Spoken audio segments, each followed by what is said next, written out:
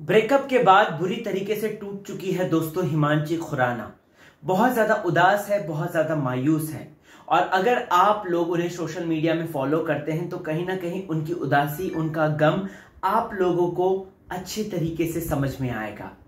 मैं राहुल भोज, स्वागत करता हूँ आपका फीफा फूज में। आप सभी दर्शकों को बताना चाहता हूँ कि तमाम तरीके की खबरें हम आपको बताते हैं। चैनल को अगर सब्सक्राइब नहीं किया अभी तक तो फटाफट कर लें और बेल आइकन को ज़रूर प्रेस करें। दोस्तों, बात करते हैं हिमांशी खुराना की और हिमांशी खुराना किस तरीके से आपको बताना चाहता हूँ मैं कि वो गमजदा है। आसिम के साथ जो ब्रेकअप हुआ है, उस चीज़ को लेकर हिमांशी खुराना ने सोशल मीडिया पर एक पोस्ट डाला है।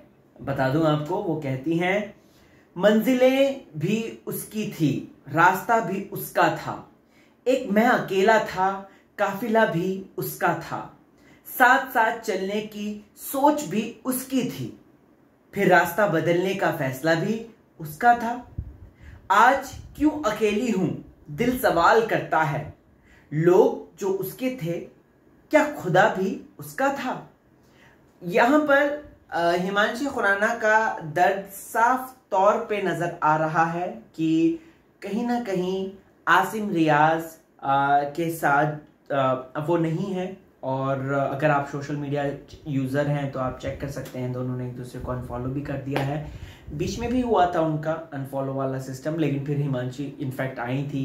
आसिम रियाज उनको लेने के लिए एयरपोर्ट भी गए थे। फिर उसके बाद हमने देखा था कि दोनों एक एक जिम से बाहर निकलते हुए उनका एक पेपराजी का फ़ोटो था वीडियो था।